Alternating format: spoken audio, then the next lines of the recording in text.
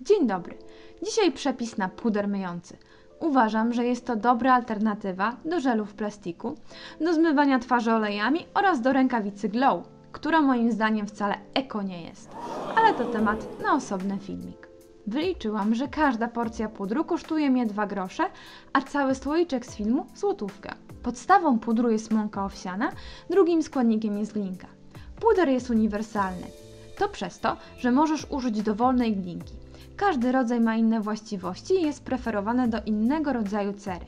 Tak w skrócie. Glinka różowa nadaje się do cery wrażliwej, naczynkowej, ze skłonnością do alergii i podrażnień. Glinka zielona do cery tłustej i trądzikowej. Glinka biała do cery dojrzałej, wrażliwej, normalnej lub suchej. Pod filmem w opisie link, pod którym możesz przeczytać więcej o właściwościach glinek. Jeżeli nadal nie wiesz, jaką wybrać, pod filmem link do internetowej maszyny losującej. Tak naprawdę każda glinka będzie w porządku. Owiec w recepturze działa przeciwzapalnie i oczyszczająco. Regeneruje i łagodzi podrażnienia, a w zależności od stopnia zmielenia może stanowić delikatny peeling. Proporcje między owsem a glinką to 2 trzecie do 1 trzeciej. Będę odmierzać na oko. Możesz pójść na skróty i użyć gotowej mąki owsianej.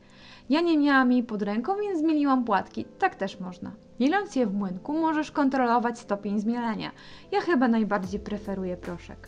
Przy glinkach należy korzystać z drewnianych, plastikowych, szklanych albo ceramicznych naczyń i przyrządów do mieszania. Takie informacje można znaleźć w internecie. Przy kontakcie z metalami glinki tracą swoje pielęgnacyjne właściwości. Niestety, nie udało mi się znaleźć dlaczego, ale informacja o unikaniu metalu wszędzie się powtarza, więc dmucham na zimne. Używam glinki białej.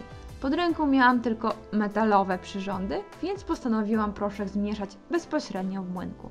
Teraz przez spywanie pudru do docelowego słoiczka. U mnie jest to słoiczek po maśle Shea. Wyszło mi tak strasznie nieporadnie, że domagało się cenzury. Na pewno poradzicie sobie z tym lepiej. Mogłam zrobić jakiś lejek z papieru, na pewno wówczas byłoby poręczniej. Ja tego nie robię, ale na koniec możecie wzbogacić skład o ulubiony olejek eteryczny. Kilka kropel wystarczy. Puder można używać na dwa sposoby.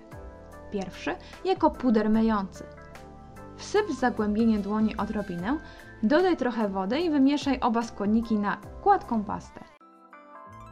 Umyj twarz rozprowadzając papkę po twarzy. Na koniec spłucz wodą i wyrównaj pH twarzy tonikiem lub hydrolatem. Drugi sposób jako maseczkę do twarzy. Puder wymieszaj z wodą i opcjonalnie dodaj kilka kropel ulubionego oleju.